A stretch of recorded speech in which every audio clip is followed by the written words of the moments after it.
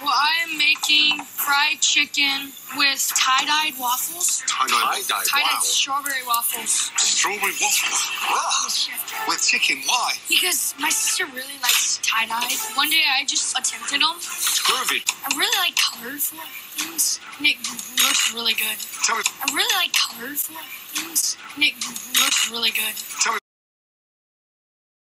I really like colors.